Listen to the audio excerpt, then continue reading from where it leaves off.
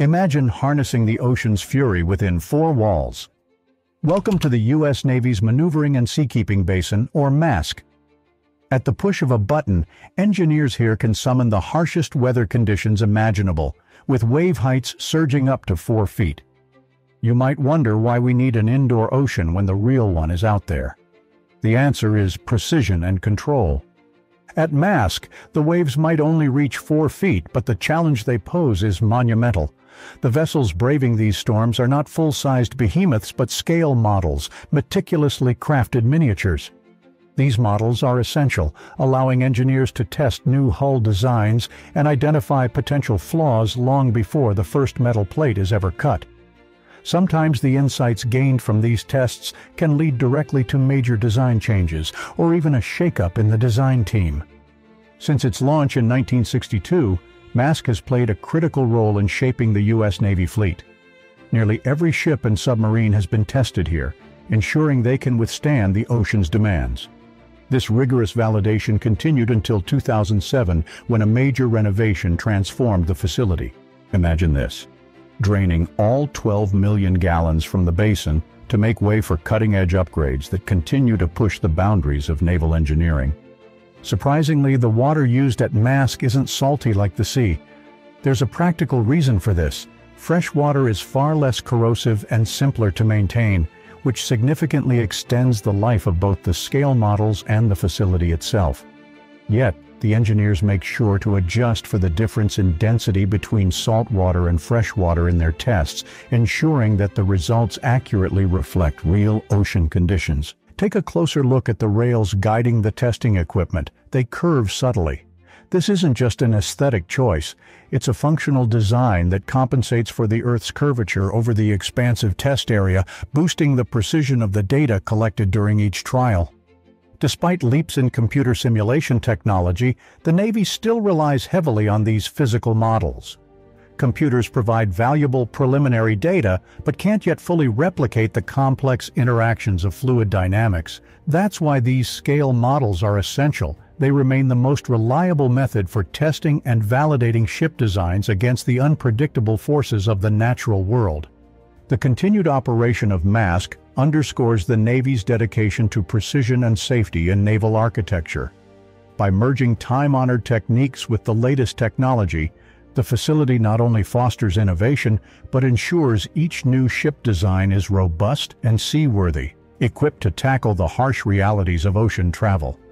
Hydrodynamic testing remains a challenging field, fraught with complexities that even today's most advanced computers struggle to model accurately.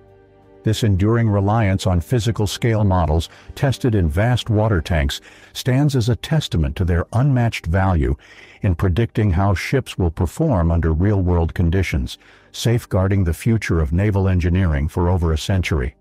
Welcome to the heart of innovation at the Maneuvering and Seakeeping Basin, commonly known as MASC. This facility is a vital piece of the puzzle in naval engineering. In 2007, it marked a significant milestone with a comprehensive renovation that heralded a new era in hydrodynamic testing. The entire facility was temporarily shut down to phase out the old pneumatic wave-making system and set the stage for a major upgrade. The six-year renovation culminated in the installation of an advanced wave-making system equipped with 216 individually controlled electromechanical wave boards.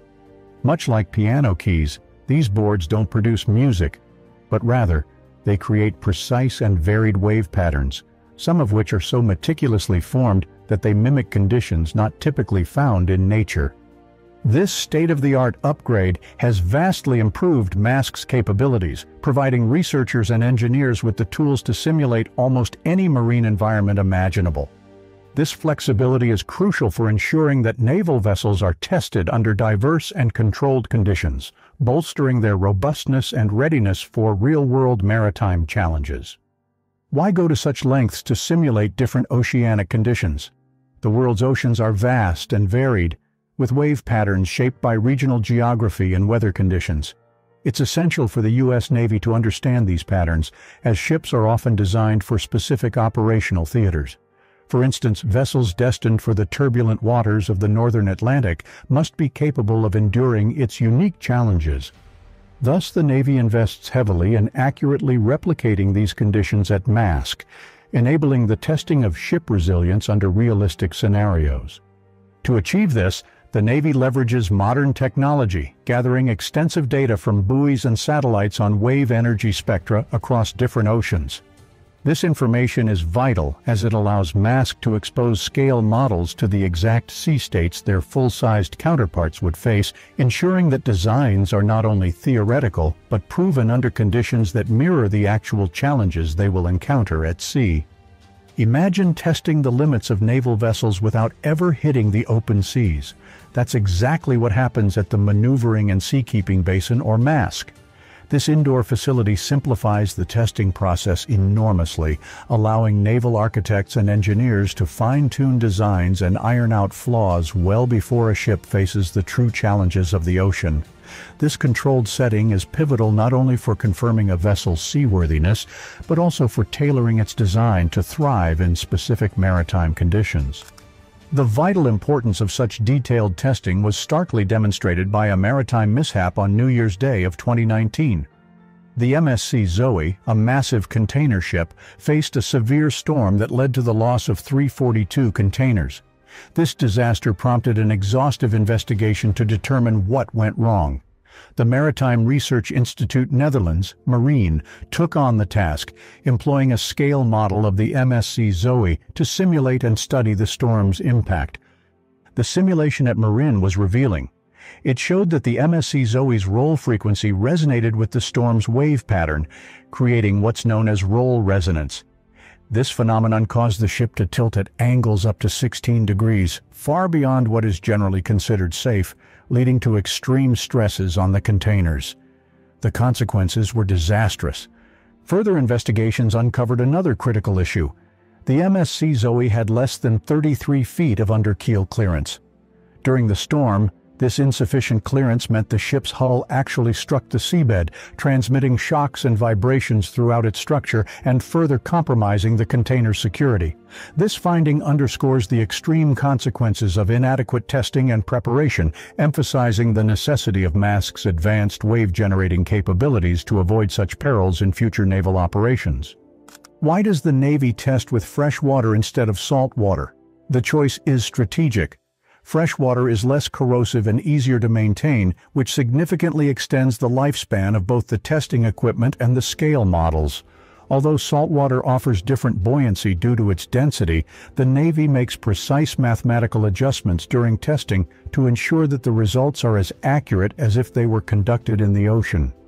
At first glance, the behavior of scale models in water tanks might seem unrealistic, they react to waves more dramatically than their full-size counterparts, with exaggerated movements and quick splashes.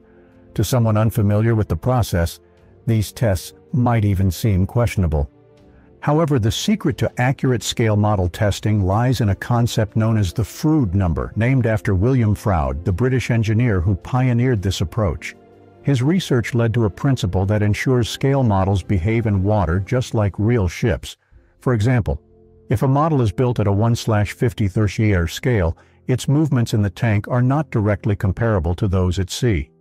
By applying the Froude scaling law, engineers adjust the footage speed by a factor, roughly the square root of the scale ratio, which is about 7 in this case. This means the observed behavior of the model in the tank then closely matches what would be expected in real ocean conditions. This meticulous adjustment allows the model to accurately simulate the actual ship's response to various marine challenges, ensuring that the designs are practical, effective, and ready for the harsh realities of the sea. The Maneuvering and Seakeeping Basin, MASC, provides the perfect environment for conducting scaled ship tests, Designed to mimic a vast array of ocean conditions, MASC allows for the meticulous analysis and verification of ship designs before they ever set sail in full-scale production. Just a short distance from MASC, another critical testing facility plays a pivotal role in naval engineering, the David Taylor Model Basin. Home to one of the world's largest towing tanks, this site is indispensable for further hydrodynamic testing, especially focusing on a ship's propulsion and resistance characteristics. What exactly is a towing tank? Picture a long, water-filled basin where naval models undergo rigorous testing. Mounted on a carriage that glides along rails, these models face simulated ocean conditions tailored to test their metal. Equipped with advanced sensors and computing systems, the towing tank captures precise data on the hydrodynamic properties and behaviors of the vessels. The shape of a ship's hull is more than just an aesthetic feature. It plays a crucial role in determining the ship's hydrodynamic resistance, which affects its speed and power needs. As the hull slices through water, it encounters varying levels of resistance based on its design. This resistance is critical as it determines how much power a ship requires to maintain different speeds.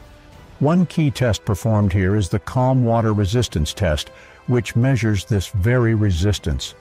During the test, a model ship is towed at specific speeds, and the forces acting against it are carefully measured. The significance of these tests can't be overstated. Ship performance, particularly speed, is a vital component of naval contracts. For instance, if a newly built aircraft carrier doesn't meet its speed requirements, it might struggle with efficient aircraft launch and recovery, potentially leading to severe operational challenges and contractual issues. The precision in measuring forces within the towing tank is not just about accuracy, it's critical for predicting how a full-size ship will behave in real sea conditions. This precision is vital for shipbuilders and designers, offering a dependable way to ensure that vessels meet their performance specifications before they are fully constructed and deployed.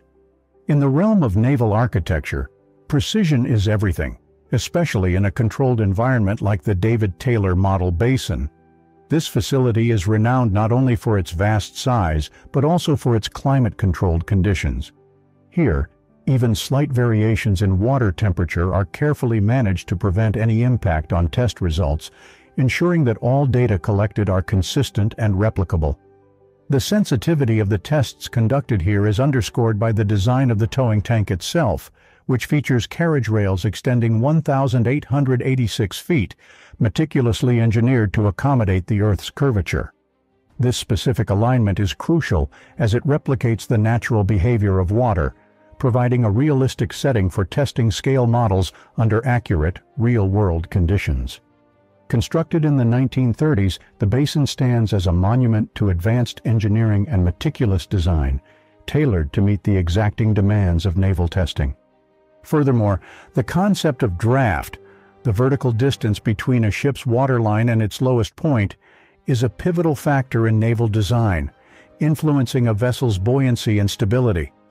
At the model basin, resistance tests are conducted at two different drafts, the design draft and the sea trial draft.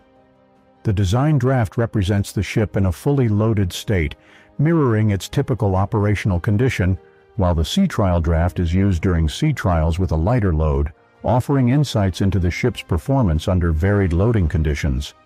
This dual draft testing is essential for validating a ship's capability to perform across a spectrum of real-world scenarios, ensuring it is ready for whatever the sea may throw its way. The dual draft testing method is fundamental in ensuring a ship's readiness for varied operational conditions. This method involves testing the vessel at two different drafts, the sea trial draft and the design draft. The sea trial draft assesses the ship in a lighter, often unloaded state, which is critical for understanding how performance metrics may change when the vessel isn't fully laden. In contrast, the design draft simulates the ship's fully loaded condition, ensuring it operates as intended when at maximum capacity. This comprehensive approach verifies that a ship can meet its performance specifications in both everyday scenarios and more demanding situations, Another vital test in the evaluation of a ship's capabilities is the self-propulsion test, which is crucial for assessing a ship's autonomous navigation capabilities. During this test, a model ship is initially towed at a consistent speed to measure drag forces. As the testing advances, the ship's own propeller is gradually engaged, taking over the propulsion duties from the towing carriage. This phase continues until the propeller alone can maintain the vessel's movement effectively canceling out the measured drag. This critical experiment allows engineers to accurately determine the point at which a ship can autonomously propel itself, providing a direct measurement of its operational efficiency in real-world conditions. In addition to the foundational tests, a suite of specialized experiments evaluates other critical aspects of a ship's design and functionality. Open Water Propeller Test. This test measures the efficiency and loss characteristics of a ship's propeller in open water conditions, providing essential data to optimize propeller designs. Streamline tests. These tests focus on the interaction between the ship's hull and water, visualizing flow patterns to enhance hydrodynamic performance. Water tunnel tests for cavitation analysis. Cavitation, or the formation of vapor cavities in a liquid, can cause significant damage to a ship's propeller. These tests are crucial for predicting and mitigating wear and tear, thereby maintaining operational integrity and efficiency. Wind tunnel tests. Especially critical for aircraft carriers, these tests assess airflows and turbulence above the waterline to ensure aircraft can safely take off and land. This comprehensive array of tests conducted on scale models equips ship designers and builders with the confidence that their vessels will perform reliably under real-world conditions. By identifying potential issues and opportunities for design enhancements early in the development process, this rigorous testing regimen ensures that the fully constructed ships are both effective and safe from their very first voyage.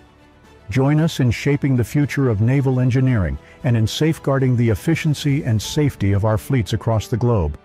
Subscribe now to stay informed about the latest advancements in hydrodynamic testing and naval architecture. Together, let's navigate the challenges of tomorrow's oceans with unmatched precision and innovation. Subscribe today and be part of our journey into the future.